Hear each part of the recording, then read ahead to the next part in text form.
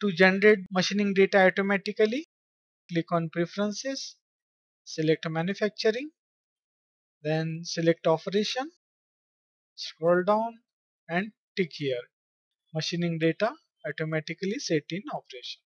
Click on OK. Then click on this create operation. Create operation.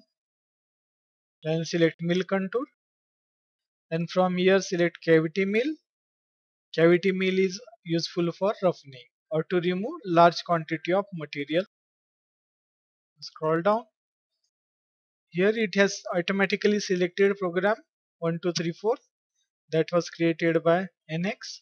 Then tool also has been selected. Then for geometry actually we will need workpiece. Click here and select this workpiece. So our workpiece is the raw material. Then for method select here mill rough. It is our stock value is defined in this method. In this way it has selected all the parameters that we have defined in the previous steps. Then you can give any specific name if you require. I will keep the cavity mill as it is and click on OK. Here if required you can create new workpiece also or you can edit the existing workpiece by clicking on this. And you can make the changes. Or you can watch the part by clicking on this button. Here is the final finish part. Then this is the blank. And we are not defined this parameter right now. Then tool has been selected. If you want to create new tool you can click here. Or if you want to make any changes to the tool you can click here then tool axis has been selected as vertical plus ZM axis. Then in the path setting this is the method. We have selected mill rough if you want to create new method you can create from here or you can edit the existing method. Then in cut pattern we will keep this follow part as it is. There are different patterns. Right now we will use this only follow part. So as per the shape of the part it will generate the pattern. Then for step over we'll keep this constant. You can also define step over in relation to percentage tool flat. Or using scallop also we will see this concept later on. And step over is defined at 7.19 it has been defined automatically by NX and the unit is mm this 4 should be around 60 to 80 percent of your tool size or it should be lesser than the tool size Step over is basically the gap between two cuts. Suppose I have taken one cut, then other cut will be taken by shifting the tool by the step over distance and then second cut will be taken. So that gap is this step over. Then common depth per cut that we are using as a constant. We can also use it as a scallop. What is that? We will see it later. And distance has been given as a 5.14 actually this tape over and this depth per cut is a practical data which you should set as per your experience this data depends on the tool tool material then what material you are cutting this data needs to be set as per your experience and actually this 5 value is very high. We will set it to 1 but 1 is also high. So you should not set this value directly as it is. This value should be chosen as per your experience.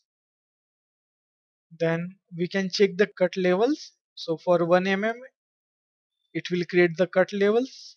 Click on this cut level and here software has created cut levels at the gap of 1 mm and this is a depth of cut of 1 mm you can change the different parameters. Right now we will keep all the parameter as default. Click on ok. Then next is cutting parameters. Click here you can choose from here whether you want conventional cut or climb cut. All these parameters we will see in detail later on. And from here you can change the stock if you want. It will override the stock that we defined in the machining method. So all these different parameters you can change from here. We will accept all the default parameters as it is. Click on ok then from here you can define the non-cutting moves so you can change them what is engage retract and all those. This also we will see in detail in the coming lectures. We will cancel this. Then from here you can define feeds and speeds click here. Now here NX has calculated the data automatically based on material and tool here you can define the surface speed surface meter per minute. And then uh, feed per tooth you will have to define here. Then spindle speed in rpm then feed rate. And if we click on this more here you can define the feed rate for engage.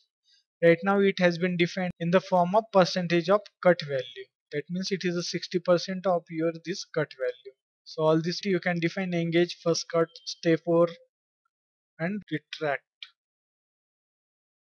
Then click on ok. Then to generate the toolpath click on generate here. Just we will zoom fit and select isometric. Okay then click on generate. Here the toolpath has been created scroll down. Then you can verify the toolpath from here. Click on verify. Then click here on all and select current level. So it will show only the current level. So this is a top cut. Now this cyan color is actually the cutting moves that means material will be cut during these moves this green is the step over. So this gap between two moves is the step then we want to pause at each level click here then scroll down and click on play. So it will show how it will cut the material. We can reduce the speed from here and again click on play. So it is showing the second step.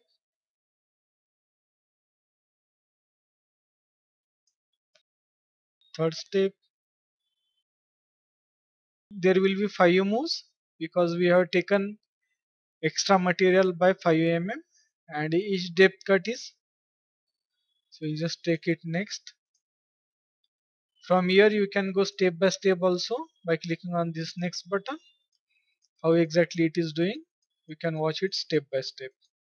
And from here you can move to next operation. And you can watch in every operation how it is cutting and by clicking on this play button you can watch individually how it is cutting. So here toolpath is generated as per the shape of the part. Same way if you want to watch it in graphics click on this 2d dynamic and click on this play. So it will show you the material cutting how it is cutting the material will increase the speed. From here you can stop it and increase the speed and play. So it will do it faster. So this cut is depth of cut.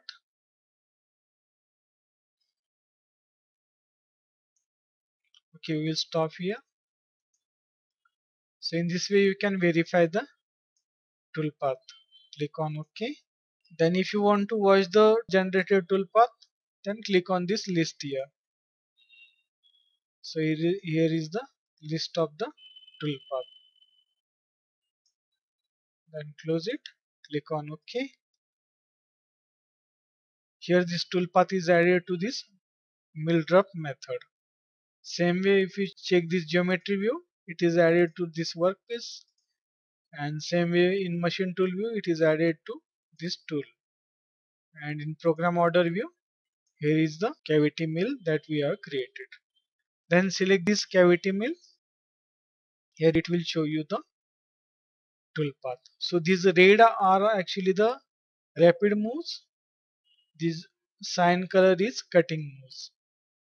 Then next will be to create a output program for that at first select the program and then click on post process.